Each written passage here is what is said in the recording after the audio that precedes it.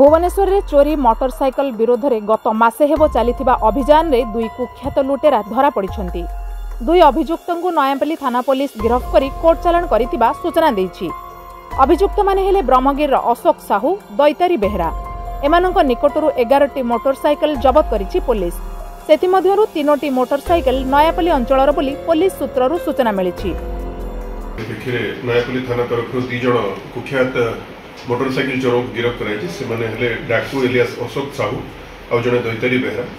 अद्यावधि दुईजों पाखु आम एगार चोरी मोटरसाइकिल जबत करूँ तीन टी मोटरसाइकिल नयापल्ली इलाकर चोरी होता और आठटी चेसीस नंबर इंजिन नंबर से टैंपर कर आर केस आम टेक करूँ आम एस एफ एस एल रेल्प नहीं जो चेसीस इंजिन नंबर टैंपर कर ट्रेस कलापर बाकी आठटी केस